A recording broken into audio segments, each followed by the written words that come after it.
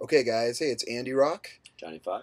um, and we just want to give you a little bit of news and update on the album Mhm. that is coming out, Mhm. uh, called Release- Survival Story. Well, it's tentative. title. Well, it's Tentative it's title. gonna hopefully be out in March. Uh, no release date has been set. Okay. Um, we got a lot of great songs. We got Right. some special guests on there, Right. like uh, maybe a little guy. let's named wait Tim to announce that a little later. Let's, let's We have this other guy named Matt. Andy. Let's kind of.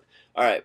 I don't think we should tell everybody everything about it now. I think we Okay. are not quite ready to tell them. I know it's basically finished, but really like nothing's official. about the I know. Why don't we do? It's gonna be awesome, and I think people are gonna like it. Let's do this.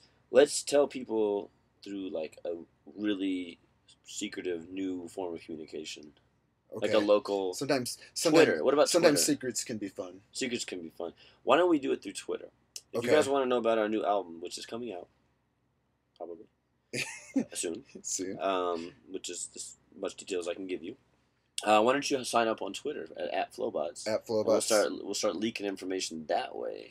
yeah, the way like John McCain and other hipsters do it. yeah, those guys are hip. Yeah. Um, yeah, we might we might have some video clips of some things in the studio and some Oh, stuff and that. Yeah. and uh, some other little little things. We're gonna try to uh, blog a little bit more, video blog, and just um try to be in, in touch a little bit more with all you wonderful people. We've been locked away in the studio, and now we're free. So uh, we're ready to uh, share the world with you all. on Twitter. All right.